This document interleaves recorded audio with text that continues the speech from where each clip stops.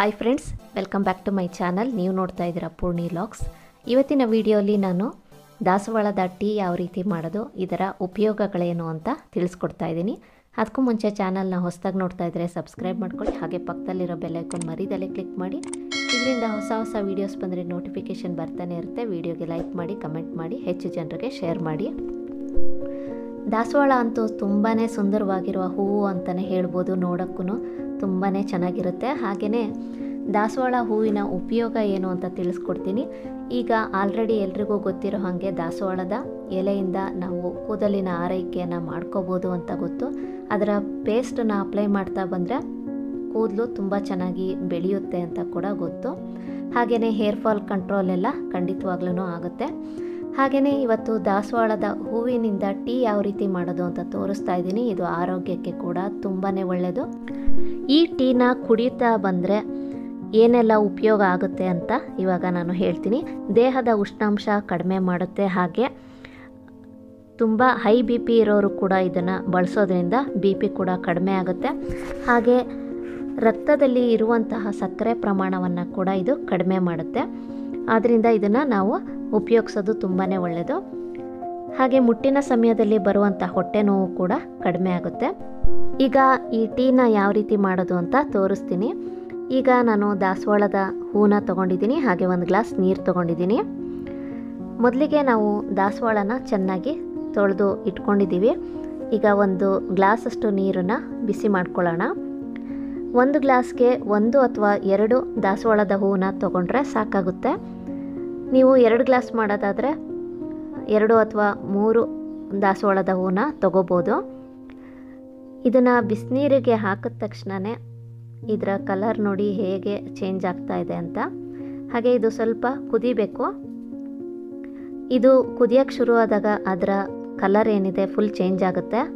ನೋಡ್ತಾ ಇರ್ಬೋದು ಇವಾಗ. ಕಲರು ಚೇಂಜ್ ಆಗ್ತಾ ಇದೆ. ಇವಾಗ ದಾಸವಾಳದ ಟೀ ಕೂಡ ರೆಡಿಯಾಗಿದೆ. ಒಂದು ಕಪ್ಗೆ ಇದನ್ನು ಹಾಕ್ಕೊತಾ ಇದ್ದೀವಿ. ಕಲರ್ ನೋಡ್ತಾ ಇರ್ಬೋದು, ಎಷ್ಟು ಚೆನ್ನಾಗಿದೆ ಅಂತ. ಹಾಗೆ ಇದು ಆರೋಗ್ಯಕ್ಕೆ ಕೂಡ ತುಂಬಾ ಒಳ್ಳೆಯದು ನಾವು ದಿನಕ್ಕೆ ಒಂದು ಸಲ ಇದನ್ನು ಅಥವಾ ಎರಡು ಸಲ ಕೂಡ ಇದನ್ನು ಕುಡಿಬೋದು. ಯಾವುದೇ ರೀತಿಯ ತೊಂದರೆ ಇಲ್ಲ. ಹಾಗೆ ಇದನ್ನು ಯಾರು ಕುಡಿಬೇಕು, ಯಾರು ಕುಡಿಬಾರ್ದು ಅಂತ ಕೂಡ ನಾನು ಮುಂದೆ ಹೇಳ್ತೀನಿ. ಈಗ ಇದಕ್ಕೆ ಕಲ್ಸಕ್ಕರೆ ಕೂಡ ಹಾಕ್ಕೊತಾ ಇದ್ದೀನಿ. ನೆಕ್ಸ್ಟು ಸ್ವಲ್ಪನೇ ಸ್ವಲ್ಪ ಏಲಕ್ಕಿ ಪುಡಿನ ಹಾಕ್ಕೊಂಡಿದ್ದೀನಿ.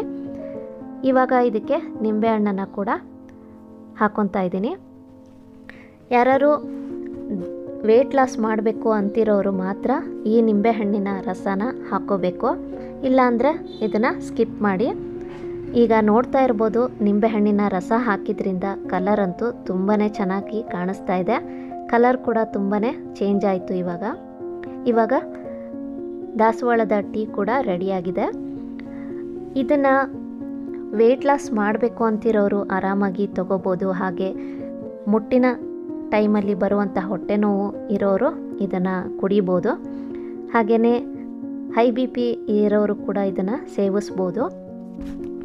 ಹಾಗೆಯೇ ಈ ಒಂದು ಟೀನ ಸೇವಿಸೋದ್ರಿಂದ ನಮ್ಮ ಕೂದಲಿನ ಸೌಂದರ್ಯ ಕೂಡ ಹೆಚ್ಚುತ್ತೆ. ಹಾಗೆ ಸ್ಕಿನ್ ಕೂಡ ತುಂಬಾ ಚೆನ್ನಾಗಾಗುತ್ತೆ.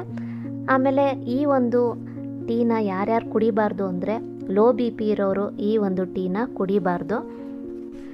ಯಾಕೆಂದರೆ ಇದು ರಕ್ತದ ಒತ್ತಡವನ್ನು ಕಡಿಮೆ ಮಾಡೋದ್ರಿಂದ ಆದಷ್ಟು ಲೋ ಬಿ ಪಿ ಇರೋರು ಈ ದಾಸವಾಳದ ಟೀನಾಗಲಿ ಅಥವಾ ಯಾವುದೇ ರೀತಿಯ ಪದಾರ್ಥಗಳನ್ನು ತಗೋಬಾರ್ದು. ಅಂದರೆ ದಾಸವಾಳದ ರಿಲೇಟೆಡ್ ಏನೇ ಇರುತ್ತೆ ಅದನ್ನು ತಗೋಬಾರ್ದು. ಹಾಗೆ ಪ್ರೆಗ್ನೆಂಟ್ ಇರೋರು, ಬಾಣಂತಿಯರು ಈ ಒಂದು ಟೀನ ಅವಾಯ್ಡ್ ಮಾಡಬೇಕು ಅಂತಲೇ ಹೇಳೋಕ್ಕೆ ಇಷ್ಟಪಡ್ತೀನಿ. ಹಾಗೆ ಕಿಡ್ನಿ ಸಮಸ್ಯೆ ಇರೋರು ಈ ಒಂದು ಟೀನ ಆದಷ್ಟು ಅವಾಯ್ಡ್ ಮಾಡಬೇಕು. ಅಂಥವ್ರು ಈ ಒಂದು ಟೀನ ಕುಡಿಬಾರ್ದು.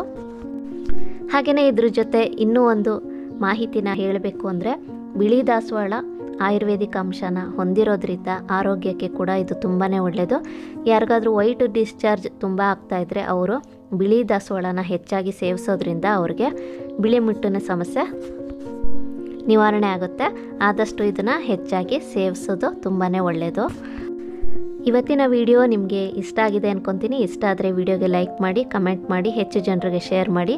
ಮತ್ತೆ ಸಿಗ್ತೀನಿ ಮುಂದಿನ ವಿಡಿಯೋಲಿ. Thank you for watching